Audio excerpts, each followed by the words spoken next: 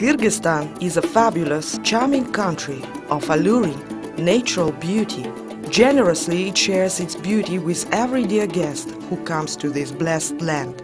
Kyrgyzstan is one of the most beautiful places in Central Asia. More than two-thirds of its territory is occupied by mountains, which manifests itself in a variety of climate, landscapes, flora and fauna.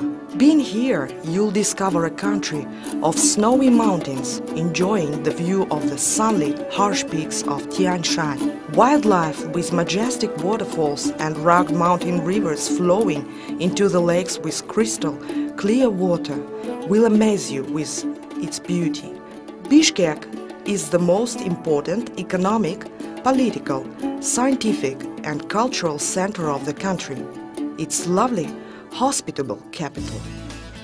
International Higher School of Medicine, established in 2003, is registered by three major leading international organizations on medical education. World Health Organization, the Foundation of Medical Education and Research, Avicenna Directories. The mission of IHSM is exporting of medical education to the Asian countries. There are citizens of India, Pakistan, South Korea, United States, Afghanistan, Japan, the UK, Nepal, Turkey, Russian Federation among the students of our school.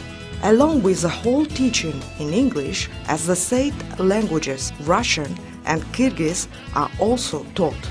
The school is becoming popular due to the highly qualified staff working by the international standards of education. The number of students is now over 1,500 people that promise education experts development.